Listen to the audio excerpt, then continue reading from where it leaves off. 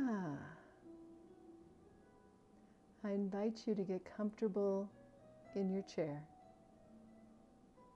Let the floor and your chair support you. And as you become more relaxed, invite your muscles to relax. And continue to gently breathe. And if you have not done so already, I invite you to gently close your eyes if you like. Know that right now this is the perfect place for you to be. Right here, right now, having this experience. Know that you may choose to follow my words or you may choose to go elsewhere. Wherever you go will be perfect.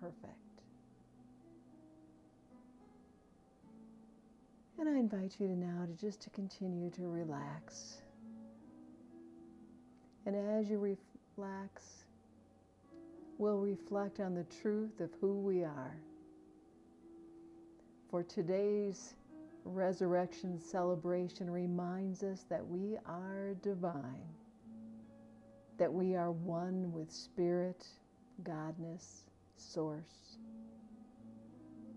It doesn't matter what we have done or not done in our lives. It doesn't matter what opportunities we have let slip by or how many times we have forgotten about our divinity.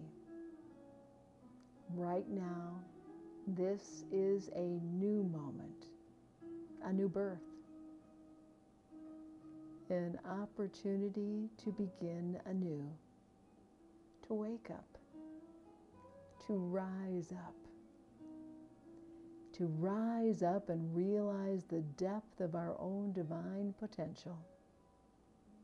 For we are truly eternal, ageless, deathless, complete and whole beings. We are holy beings. We are divine. And today we're invited to rise up, to go forward, to go forward into the highest consciousness we can possess at this time. We lay aside old beliefs or attitudes or judgments that no longer serve us or perhaps never served us. We let go of anything that has held us back we keep our eyes forward and we heed the Easter message. The message of Jesus to be bold, courageous, fearless, and confident as we strive forward to be the divine expressions that we were created to be. Greater things than these will you do. This was the prophecy for your life. The time for playing small is past. Going forward, you are free to feel your oneness with Spirit. You are free to have a personal relationship with Godness. And from this understanding that we are all creators of our world, I envision the following. I see people all around the world reaching out to each other in love and support. I see the ill being tended to by gentle, loving healthcare providers.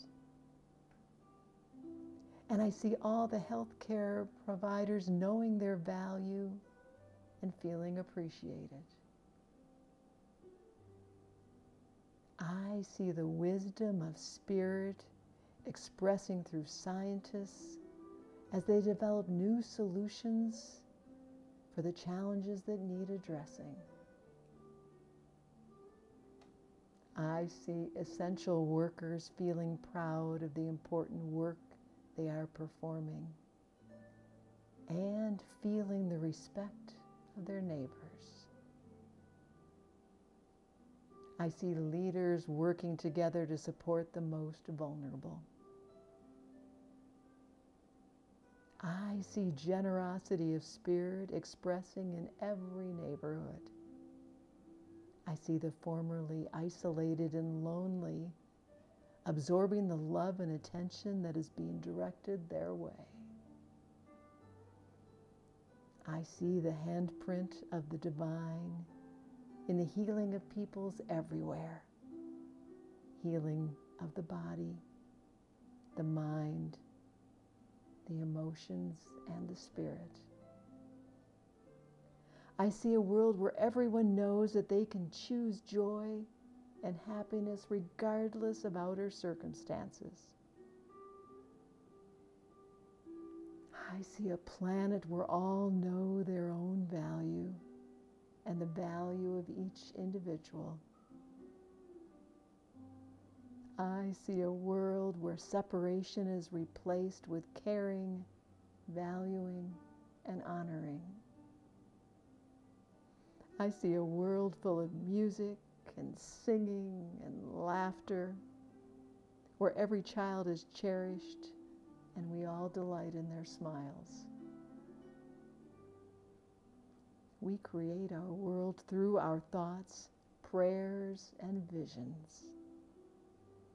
We are powerful, amazing beings, and we use our power to bless ourselves and the world.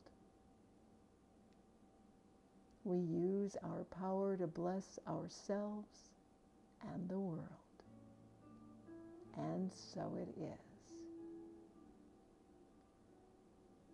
Ah, so I just invite you to take a few more gentle breaths. Feel that life energy flowing through you, all through you, all the way out to your fingers and your toes and the tip of your nose. And when you're ready, I invite you to gently open your eyes, feeling alert yet relaxed, energized yet at peace. Namaste.